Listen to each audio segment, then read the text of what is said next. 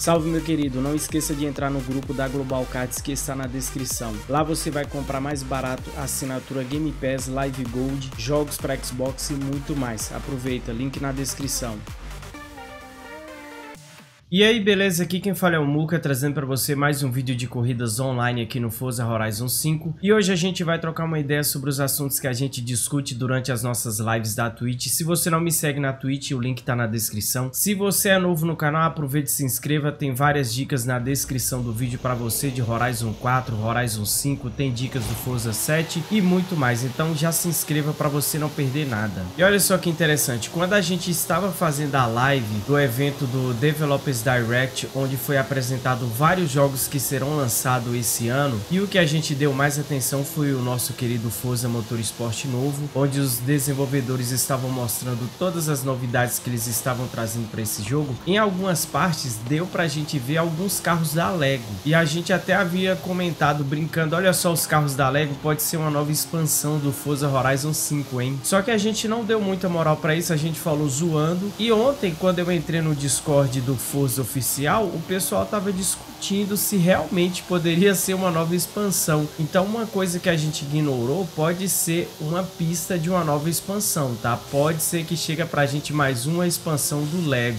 Porque se você dá uma olhada naquele vídeo que eu fiz o react do evento da Developers Direct, dá pra gente ver Ferrari, dá pra gente ver Porsche, McLaren, vários carros que fazem parte da expansão Lego do Forza Horizon 4. Lembrando Que a gente não tem certeza se realmente é, mas a gente não pode descartar a possibilidade que o pessoal do Forza Motorsport lá no evento da Developers Direct, talvez eles estavam provocando a gente para uma nova expansão, dando algumas pistas, porque o pessoal do Forza Horizon e o Forza Motorsport adoram fazer esse tipo de coisa, mas pode ser que seja apenas objetos de decoração, né? Mas se eles colocarem essa decoração lá, pode ser que seja para provocar a gente ou talvez não, só decoração mesmo. Deixe aí nos comentários o que, que você acha e o que você achou também da expansão do Lego. Eu sinceramente gostei demais do mapa, achei muito bacana, focado em corrida, eu acho que tem muito a ver com Forza Horizon, né? Ainda mais que o Lego tem essa temática de corrida, mas eu não gosto do design dos carros, eu não curto muito carro quadrado, aquele, design, aquele design quadrado. Só quando eu era um menino novo mesmo, eu gostava muito de montar os carrinhos da Lego, mas andando andar com eles num jogo de corrida, eu não acho tão interessante. Eu acho mais interessante Hot Wheels, com aqueles carrinhos de ferro mesmo, que tem um design similar aos modelos da vida real. Agora, Lego, para mim, eu não acho tão interessante, mas o mapa é excelente. A respeito de data de lançamento, eu acredito que se o novo Forza Motorsport for adiado para o final do ano, a expansão nova deve ser lançada lá para o mês de junho, eu acredito. Mas deixe nos comentários o que, que você acha, se for essa expansão mesmo, mas lembrando que é só um palpite, tá? Baseado no que a gente viu no evento do Forza Motorsport.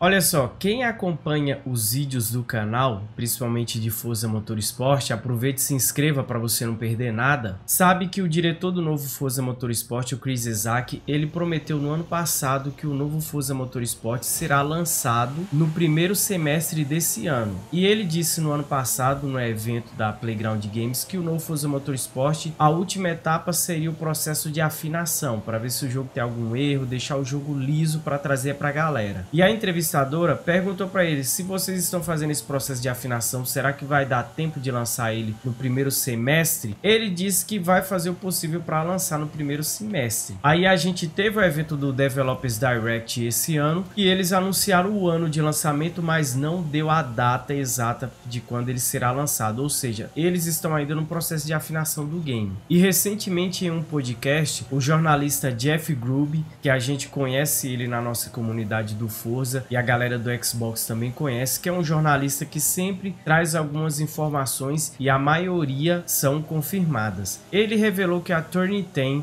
não conseguirá finalizar o novo Forza Motorsport previsto pela data da Microsoft, que seria no primeiro semestre de 2023. E mais, ele afirma que o novo Forza Motorsport vai ser lançado na data que eu sempre comentei, que é lá para o mês de outubro, setembro, outubro. Eu acredito no que ele fala, porém, eu acredito também que o pessoal da Turnitin 10 está trabalhando no jogo para lançar ele o mais breve possível, porque eles querem evitar o erro que eu acredito que o pessoal do Forza Horizon cometeu de lançar um jogo sem o processo de afinação que estava todo bugado. Então, por um lado é bacana, por outro lado é meio triste, né? Porque a gente já quer o novo Forza Motorsport, porém a gente não quer um jogo todo bugado, né? E eles não querem entregar pra gente um jogo todo bugado. Então, eles estão segurando a onda lá, estão fazendo o processo de afinação, não revelaram a data porque eu acredito que esse jogo pode aparecer aí um lançamento dele nesses eventos que a Playground Games faz todo mês, que é o Forza Monday. Pode ser que ele seja anunciado em um desses eventos aí do nada. E para deixar a galera mais ansiosa com um pouco de esperança, o Phil Spencer ele disse que o Forza Motorsport receberá data perto do lançamento. Eu espero que quando ele fala perto do lançamento, eu acho que deve ser o lançamento previsto, né? Que é o primeiro semestre desse ano. Então pode ficar tranquilo, porque tem duas informações, do Phil Spencer e do jornalista. Os dois são fortes, né? Mas, na minha opinião, os desenvolvedores do Forza Motorsport não querem entregar um jogo com problemas, eles querem entregar um jogo 100%. Depois eu vou fazer um vídeo de análise daqueles clipes que a gente viu do Forza Motorsport, você vai perceber algumas curiosidades.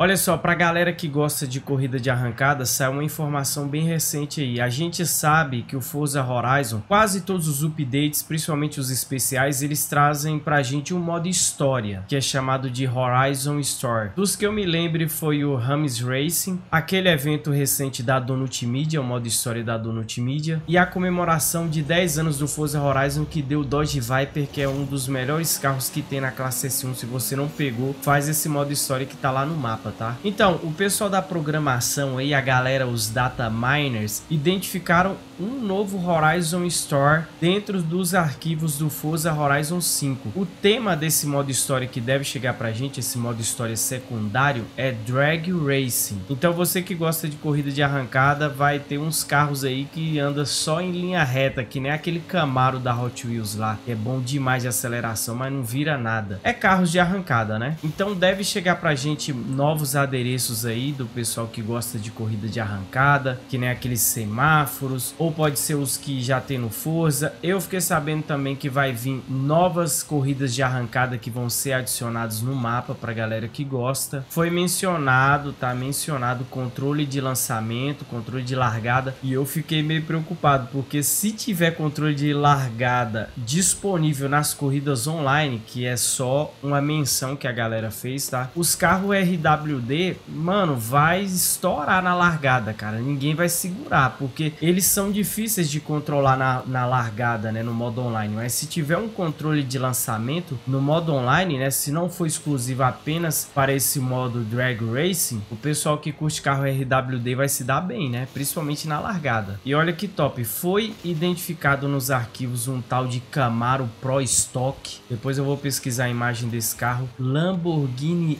STO esse aí, mano, é um carro de corrida. Esse vai ser top, hein? E o Rimac Nevera. Esse Rimac, eu, eu não conheço ele. Eu achava que a gente já tinha esse Rimac aí, porque eu não manjo muito de Rimac. Porque o modelo que a gente tem é bem parecido com esse Nevera. Então a gente vai ter um modo história aí, um tema de drag racing, chegando três carros. Então vai ser um evento bem especial. A gente ainda não sabe qual vai ser o tema do próximo update. Quando eu ficar sabendo, vou trazer aqui para você, mas eu não vi nada lá relacionado a Drag Racing. Então pode ser que esse update chega depois do mês que vem ainda, mas os data miners já identificaram esse modo história que vai ter pra gente. Eu só quero essa Lamborghini STO, velho. Mano, deixe nos comentários se você sabe se o Pagani Zonda da Orion, esse carro é pay to win ou todo mundo vai ganhar ele? Porque parece que tem que comprar o pacote de bolacha para resgatar esse carro. Pelo que eu vi, o PI dele é um pouco alterado, tá? Talvez ele vai ter um pouco mais de aderência um pouco mais de aceleração.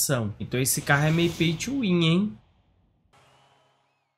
Cara, eu acabei de pesquisar aqui e vi que a Microsoft, em parceria com a Orion, está realizando uma promoção com os biscoitos com temas do Xbox. Então a bolacha vai ter formato dos botões do Xbox, da logo do Xbox, mas o diferencial é que no pacote vai ser incluído um código para desbloquear skins de vários jogos do Xbox. O que eu conheço é o Sea of Thieves, Halo Infinite e o Forza Horizon 5. Será que vai ser comercializado aqui no Brasil esses biscoitos da Orion? Deixe nos comentários se você encontrou no supermercado mais próximo, porque eu acho que esse carrinho é, é um pay to win, talvez não, né? Eu perguntei um cara que tinha pego esse carro da gringa e ele não falou muita coisa, mas ele disse que o PI é um pouquinho alterado, tem alguma diferença ali. Agora a gente não sabe se a diferença é de mais aderência ou um pouco mais de aceleração. O Pagani Zonda é um carro muito bom e na S1, quem manja andar com ele ganha corrida. E se ele tiver alguma melhoria, qualquer coisa é bom, né? Pelo que eu vi, essas bolachas de edição especial estão disponíveis em 22 países e estarão disponíveis enquanto durar o estoque. A Microsoft não listou os 22 países que têm a oportunidade de comercializar essa bolacha, mas a promoção parece estar limitada aos mercados europeus, sem previsão para chegar aqui no Brasil. Será que chega aqui? E se você acha que é só brasileiro que dá um jeitinho, o pessoal da gringa já tá vendendo a DLC, tá falando que é DLC, né? O pessoal tá pegando o código das bolachas, estão vendendo em formato de DLC pra galera que gosta de colecionar carros no Forza Horizon e não teve a oportunidade de comprar essa bolacha que não foi identificado onde é que vai vender. É uma pena para o pessoal que mora em outros países porque a gente perde muita promoção bacana, né? Tem um Ford Custom que tem um design muito top, tem esse carro da Orion aí também. E a gente que mora aqui no Brasil vai acabar perdendo essas promoções. É que nem carros da Hot Wheels edição especial que chega aqui no Brasil por um preço absurdo.